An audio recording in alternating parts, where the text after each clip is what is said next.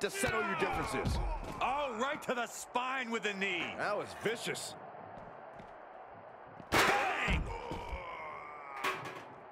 Boom, what impact.